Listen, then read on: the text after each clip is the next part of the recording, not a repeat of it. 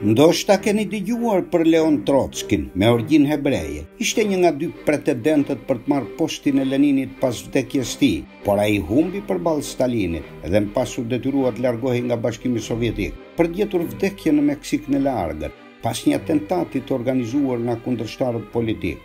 Koha që Trotski sjell në reportazhin e tij ka qenë nga më të vështirat për shqiptarët dhe mbijetesën e tyre. Me fillimin e luftës ballkanike, Shqipëria ishte gjysmë e shkretuar dhe trupat serbe në emër të luftës kundër Perandorisë Osmane ndërmorën një sërë pushtimesh, të cilat u shoqëruan me masakra masive kundër popullsisë krejtësisht të paarmatosur e të pambrojtur shqiptare. Sipas shtypit të kohës, Gjatë kësaj ofensive humbën jetë rreth dyqind e pesëdhjetë mijë shqiptarë. Ja reportazhi i Leon Trockit, botuar në gazetën ruse Kievskaya Mysl, në njëzet e tre dhjetor një mijë e nëntëqind e dymbëdhjetë. Kam pasur rastin, për fat apo fatkeqësi, ta vizitoj Shkupin, disa herë pas Betejës së Kumanovës. Qysh në fillim u irritova nga autoritetet e Beogradit, lidhur me lejen për qarkullim. Për shkak të pengesave që më bëri Ministri e Luftës, Fillova të mendoj se njerëzit që e udhëhiqnin luftën nuk e kishin ndërgjegjen të pastër, dhe se atje poshtë ata po kryejnë veprime krejt ndryshe nga sa paraqitej në shtypin zyrtar. Kjo përshtypje ose parandjenjë u përforcua pas takimit me një oficer, i cili kishte qenë në Shkup me ushtarët e Shtabit të Përgjithshëm. Oficeri, të cilin e kisha njohur për një kohë të gjatë, ishte njeri i ndershëm, mirëpo sapo ai e mori vesh se unë po shkoja për në Shkup, Meqë realisht edhe e kisha marrë lejen për të shkuar atje, me një qëndrim të hapur armiqësor, më tha se nuk duhet të shkoja dhe se nuk e kuptonte se pse Beogradi po vepronte në këtë mënyrë, sipas tij, duke i lejuar të huajt të shkonin në Shkup. Në Vranjë, në kufirin me Serbinë, kur e kuptoi se nuk do ndryshoja vendim, oficeri serb e ndrroi zërin dhe filloi të më përgatitë për pamjet që do të shikoja kur të arrija në Shkup. Këto janë gjëra të pakëndshme, por fatkeqësisht janë të paevitueshme, më tha ai. Kjo bëri edhe më shumë të dyshoja. Kjo do të thotë se veprat e liga për të cilat ishte dëgjuar deri në Beograd nuk ishin të rastësishme, nuk ishin raste të veçanta e të izoluara, përderisa një oficer i trajtonte si nevoja të shtetit. Dikush duhej të kishte të dhëna për këto. Po kush? Ushtria apo qeveria? Përgjigjen për këto pyetje e mora sapo arrita në Shkup. Trishtimi më filloi porsa e kaluam kufirin. Në orën pesë pasdite iu afruam Kumanovës. Dielli po perëndonte dhe errësira tashmë kishte fituar terren.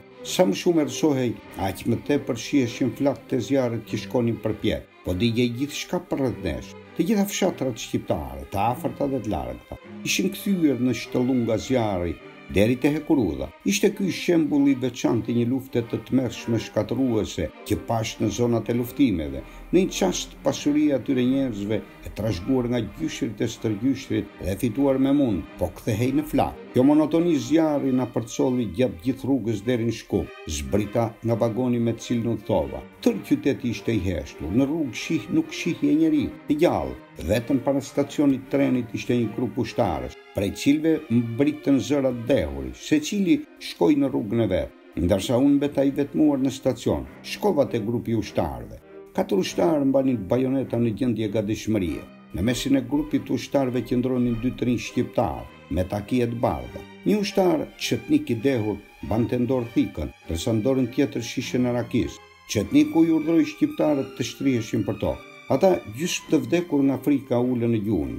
Pas urdhit tjetër ata u ngritën. Këtë ai e përsëriti disa herë. Pastaj çetniku, duke sharë dhe duke kërcënuar, u drejtoi majën e thikës edhe viktimave tjera. I detyroi të pinë raki, pastaj i puthi. I dehur nga forca, rakia dhe gjaku, ai argëtohej duke luajtur me ta, ashtu si macja e egërsuar me minj. Të njëjtat veprime e njëjta psikologji. Të tre ushtarët e tjerë edhe ata të dehur, qëndronin duke ruajtur se mos shqiptarët po iknin, ose do të kundërshtonin, derisa çetniku t'argëtohej. Këta janë arnautë, më tha një ushtar. Tash do t'i therë. Prej frikës u largova nga grupi. Nuk kishte kuptim të mundohesha për të mbrojtur shqiptarët. Ata mund të shpëtonin nga këta ushtarë vetëm nga një forcë tjetër e armatosur. E gjithë skena luhej në stacionin e trenit. Sapo mbërriti treni tjetër, ika për të mos dëgjuar britmat e tmerrshme dhe thirrjet e shqiptarëve për ndihmë. Në rrugët e qytetit dhe në vetë qytetin ishte aq qetësi, sa dukej sikur ishte i shkretë. Të gjitha dyert ishin mbyllur qysh nga ora gjashtë pasdite.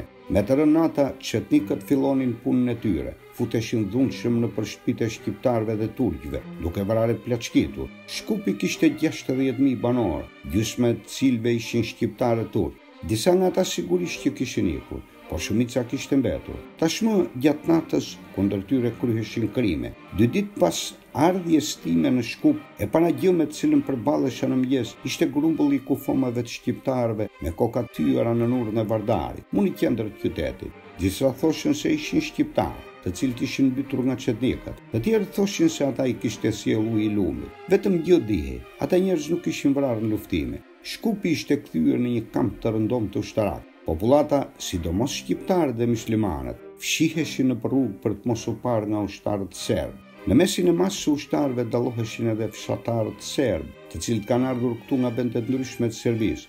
Duke u justifikuar se kanë ardhur për të gjetur bijtë dhe vëllezërit e tyre, ata kalojnë nëpër Kosovë duke plaçkitur. Bisedova me tre prej tyre, torbaxhinjve. Më i riu, një burrë i shkurtër, i sojit të trimave, lavdërohej se si me pushkën e tij kishte vrarë dy shqiptarë, ndërkohë që dy të tjerët i kishin ikur. Bashkudhëtarët e tij, fshatarë të moshuar, e vërtetonin rrëfimin e të parit. Një gjë nuk është e mirë, ankoheshin ata, nuk kemi para me vete. Këtu mund të marrësh sa të duash. Qe dhe kuaj. Paga e ushtarit është dy dinarë, ose shtatëdhjetë e pesë kopjek. Ushtari shkon në fshatin e parë të shqiptarëve dhe merr kalin e parë që gjen. Përmes ushtarëve mund të marrësh një pendë qe për njëzet dinarë. Serbët nga rrethinat e Vranjës në mënyrë masive janë nisur drejt fshatrave shqiptarë, me qëllim për të rrëmbyer gjithçka që gjejnë. Gratë serbe kanë ngarkuar në shpinë edhe dyer e dritare, të cilat i kanë marrë nëpër fshatrat shqiptare. Ndërkohë erdhën dy ushtarë.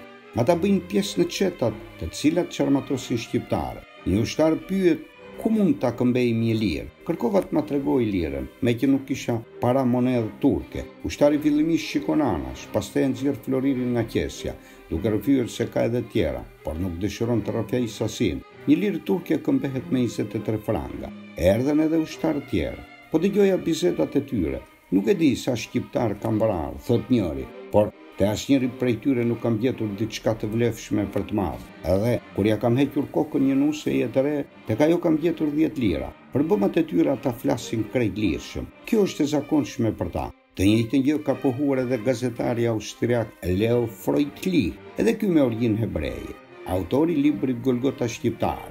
Sipas tij, me qindra e mijëra kufoma të masakruara notonin në rrjedhat e lumenjve. Ata që mundnin t'u shpëtonin sëmundjeve, urisë, plumbave të pushkëve të këmbësorisë dhe gjyleve të artilerisë serbe, grumbulloheshin në vende të caktuara dhe u jepej nga një plumb kokës. Iu referova publikimit të Dokument Tips. Faleminderit.